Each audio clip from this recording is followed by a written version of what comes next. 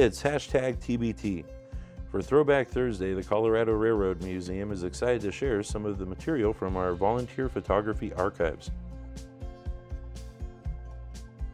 This week, we're featuring the photography of longtime museum volunteer George Lawrence.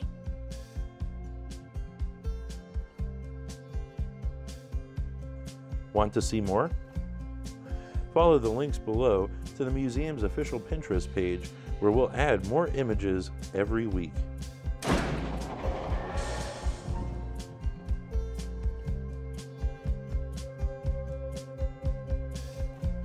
If you enjoy our content, like, comment, share, and subscribe.